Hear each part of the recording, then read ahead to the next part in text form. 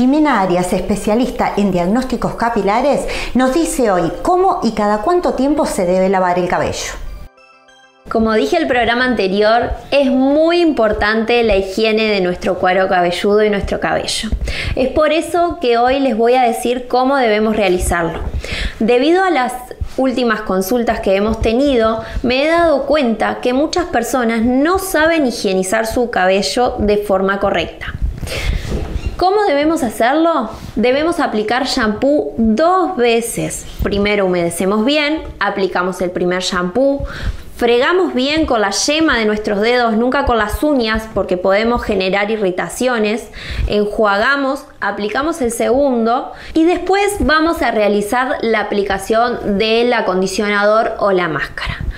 Todo esto siempre con el producto correspondiente, porque de nada sirve saber lavarnos bien la cabeza si no estamos utilizando el producto que corresponde a nuestras necesidades. Por eso es tan importante el diagnóstico previo para saber cuál es nuestra rutina diaria, cuál es nuestro trabajo, ya que no es lo mismo trabajar en una cocina que en una oficina sentados para que tengamos sí el producto adecuado de higiene en casa y así poder mantenerlo de forma saludable, con brillo, suave, sano y saludable.